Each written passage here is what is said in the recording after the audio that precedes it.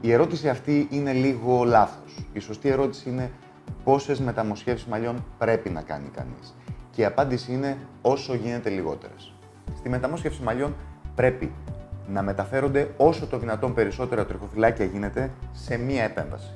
Αυτό προϋποθέτει το να υπάρχει μια ικανή και μεγάλη χειρουργική ομάδα, να υπάρχει εξειδίκευση στο αντικείμενο, προκειμένου να γίνονται οι ελάχιστοι τραυματισμοί, οι ελάχιστες βλάβες, η ελάχιστη ταλαιπωρία για τον ασθενή και να φτάνουν τα τριχοθυλάκια άθικτα και με 100% επιβίωση. Όσο περισσότερα χειρουργία γίνονται για να καλυφθεί η ίδια περιοχή, τόσο περισσότερες απώλειες υπάρχουν και αυτές οι απώλειες των τριχοθυλακίων δεν μπορούν να αποκατασταθούν με κανένα τρόπο. Τα τριχοθυλάκια που χάνονται δεν ξαναβρίσκονται.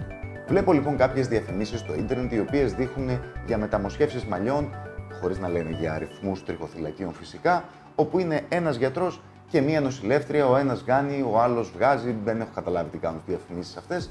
Τέλος πάντων, και ο κόσμος νομίζει ότι αυτό είναι η μεταμόσχευση μαλλιών. Σας εγγυώμαι ότι ο καλύτερος γιατρός στον κόσμο, με την καλύτερη νοσηλεύτρια στον κόσμο, μέσα σε ένα λογικό χρόνο που θα είναι 6 με 8 ώρες για να γίνει μια μεταμόσχευση, ούτε χίλια τριχοθυλάκια δεν μπορούν να μεταφέρουν. Τα οποία χίλια τριχοθυλάκια, όπως έχω πει και σε άλλο βίντεο, με χίλιες τρίχες ή με 500 τριχοθυλάκια, φανταστείτε ότι μπορεί να γεμίσει πυκνά μια περιοχή όσο περίπου ένα δίευρο. Άρα, χίλια τριχοθυλάκια είναι δύο δίευρα.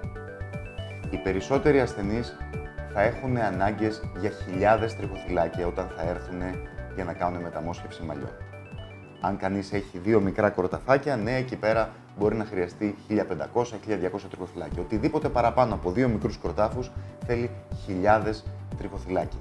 Αυτά πρέπει ιδανικά να γίνονται σε μία επέμβαση. Φανταστείτε ότι έχετε να κάνετε μία μεγάλη μετακόμιση. Για να κάνεις μία μεγάλη μετακόμιση χρειάζεσαι νταλίκα χρειάζεσαι μια μεγάλη ταλίκα, χρειάζεσαι επαγγελματικό δίπλωμα οδήγησης και χρειάζεσαι και προσωπικό το οποίο θα κουβαλήσει τα πράγματα από το σπίτι στην ταλίκα και μετά θα τα μεταφέρει. Τι συμβαίνει λοιπόν κάτι που βλέπω πολύ συχνά στο ίντερνετ; Επειδή ακριβώς δεν έχουν ταλίκα και επειδή δεν έχουν και δίπλωμα για ταλίκα και δεν έχουν και προσωπικό για την ταλίκα, σου λένε έχουμε μηχανάκια delivery και έχουμε και ανειδίκευτους οδηγούς που οδηγούν τα μηχανάκια delivery και εντάξει δεν θα στα φέρουμε και σε μία φορά, θα στα φέρουμε σε τέσσερις φορές. Έλα κάθε έξι μήνες να τα φορτώνουμε πάνω στα μηχανάκια κομμάτι-κομμάτι, να σου κόψουμε τα έπιπλα κομμάτι-κομμάτι και θα στα φέρουμε στο σπίτι με τα μηχανάκια delivery, έλα σε άλλους έξι μήνες να μεταφέρουμε μερικά κομμάτια κτλ. Και θα σου έρθει και πιο οικονομικά έτσι και είναι και καινούρια μέθοδος τα μηχανάκια delivery, οι νταλίκες είναι η παλιά μέθοδος και διάφορα τέτοια.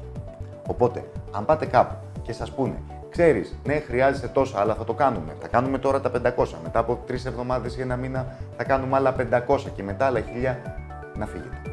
Γιατί αυτό είναι ό,τι χειρότερο μπορεί να συμβεί. Το να κάνετε πολλά μικρά χειρουργία είναι ό,τι χειρότερο είναι και για τη δότρια περιοχή σας και για τη λίπτρια περιοχή σας και για την επιβίωση των μοσχημάτων σας και για την ταλαιπωρία σας.